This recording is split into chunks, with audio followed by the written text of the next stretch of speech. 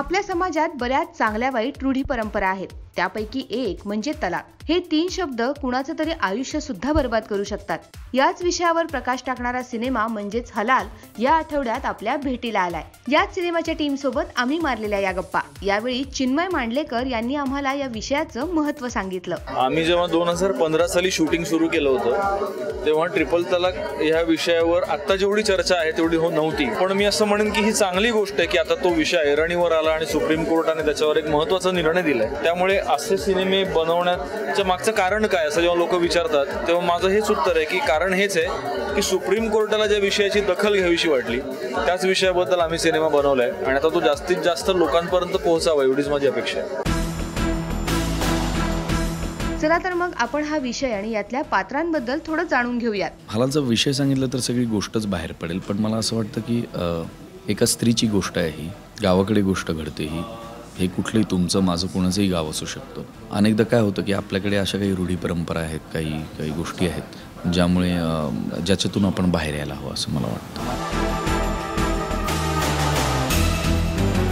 हलालमध्ये मी हलीम या स्त्रीचं character play करत आहे जी अतिशय साधी आणि सरळ मुलगी आहे.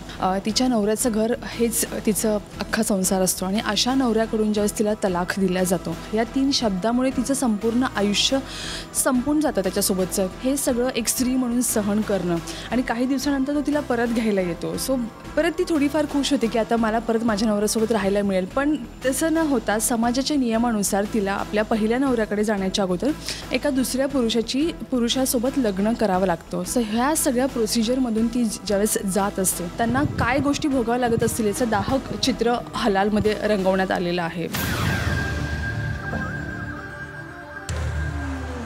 हे एका गावातल्या मौलानाचं कॅरेक्टर आहे जो अत्यंत देवावर विश्वास ठेवणारा धर्मावर विश्वास ठेवणारा. आणि अत्यंत नाकाच्या समोर चालणारा माणूस आहे. पण जेव्हा नाकाच्या समोर चालणाऱ्या माणसाला त्याच्यासमोर मोह येतात त्याच्यासमोर आयुष्यात एक कॉम्प्लिकेशन येतात तेव्हा तो काय करतो? तेव्हा त्याची कसोटी कशी लागते? हा माझ्यासाठी ह्या सिनेमातला चॅलेंज होता. तोच विषय आहे मुळात. आणि खूप सुंदर कथा राजन खान यांची आहे. आणि त्याला खूप चांगल्या पद्धतीने सिनेमामध्ये कन्वर्ट केलं शिवाजी सरांनी. गोष्ट तर काही सांगणार नाही मी पण ही मुस्लिम धर्माचे जे लॉ आहेत ट्रिपल तलाक आणि हलाला या दोन लॉवर भाष्य करणारी फिल्म आहे. असं वाटतं की बऱ्याचशा अशा कथा आहेत बऱ्याच सामाजिक रूढी अशा बऱ्याच आहेत काही त्या त्याच्यावर चित्रपट येणं गरजेचं वाटतं आहे मला. आणि मी तर बाकीच्या काही गोष्टी माझ्या हातातल्या नसल्यामुळे मी कमीत कमी फिल्म तर करू शकतो त्या गोष्टींवर. पण तो एक छोटासा प्रयत्न आहे लोकांना जागरूक करण्याचा.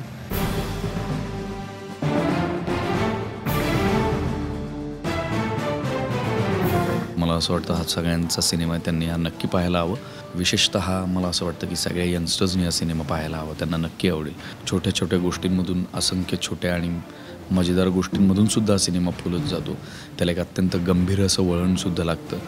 आणि आपण जसे अत्यंत कमर्शियल सिनेमे जसे पाहतो तसंच तुम्ही अशा पद्धतीच्या सिनेमावरसुद्धा प्रेम करावं असे पद्धतीचे सिनेमेसुद्धा तुम्ही पाहावेत असं मला वाटतं. कारण हे सिनेमे तुम्हाला अत्यंत सकस मनोरंजन देतील. नक्कीच. टीम हलालला मायबुलीकडून ऑल द बेस्ट